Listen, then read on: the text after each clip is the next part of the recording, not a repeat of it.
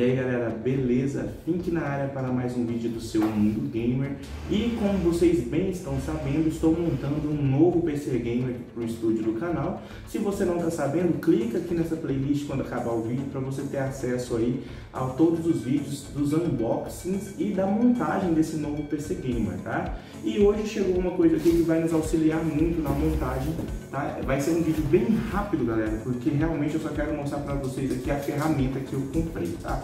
Como eu já mexo com montagem e manutenção de computador há muito tempo, eu sei o quanto é complicado às vezes, quando fica caindo parafuso, quando a gente começa a fazer a, a, a torção ali acaba dando algum problema, você começa a fazer a torção do parafuso errado e ele vai torto. Então assim, para facilitar, eu resolvi comprar esse brinquedinho aqui, ó, que eu vou mostrar para vocês.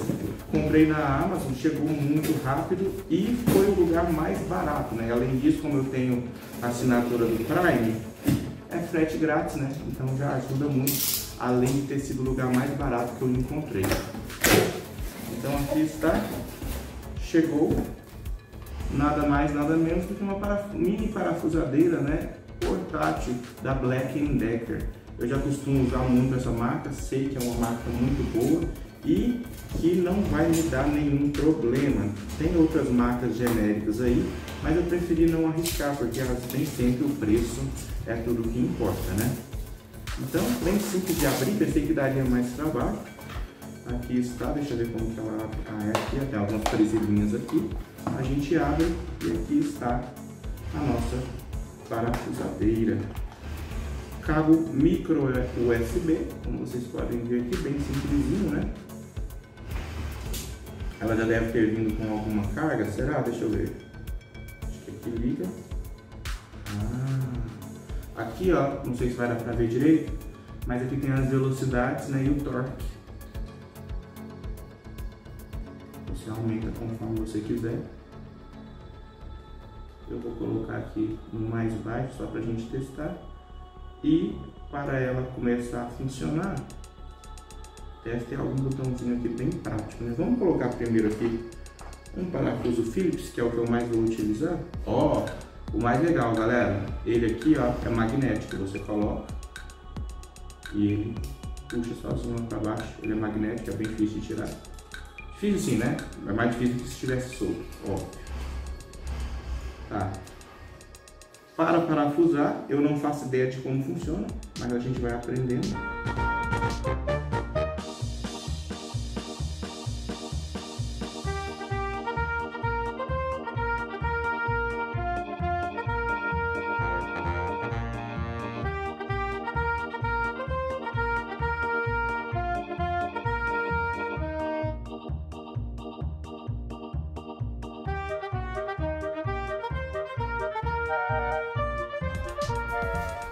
Então tá bom, depois de muito apanhar, depois de muito procurar e ler o manual, eu descobri uma coisa óbvia, né? Como é que ativa o mecanismo de, parafuso, de, de, de parafusar aqui, né?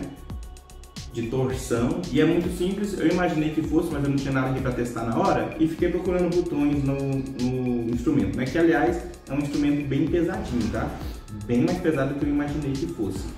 É, é muito simples, eu peguei aqui um monitor da Positivo, novo lançamento, tá? 260 Hz, 32 polegadas, widescreen, curvo, não dá para ver a curvatura aqui por causa da câmera, claro. Então vou demonstrar para vocês. Aqui é a indicação do torque, como eu falei, né? Vamos colocar aqui um pouco, um pouco no, no, médio aqui, acho que não precisa de tudo isso, não, ela é bem forte. E aqui, ó, se eu colocar aqui, ela vai parafusar no sentido horário, que vai estar tá parafusando. E se eu colocar ela para trás, ela vai estar tá no anti-horário desparafusando, né? Então, é muito simples, é só pegar e fazer uma pressão aqui, ó, no parafuso, que aí ele já funciona. Pronto. Mais uma vez aqui também. Agora eu quero parafusar. Só colocar a chave nesse sentido. Viu tanto que é forte?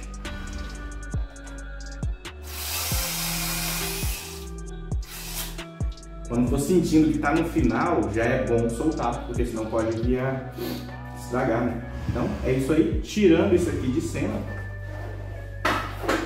Eu ia quebrar, mas fiquei com dó, vai. Me serviu durante tantos anos, agora que ele não serve mais, eu vou simplesmente fazer isso? Não. então é isso aí, galera. Esse foi aí um pequeno unboxing com review dessa pecinha aqui que eu pensei que não ia me ajudar muito, mas pelo que eu vi aqui ela é bem forte, bem robusta, vai servir para muita coisa, não só para o PC.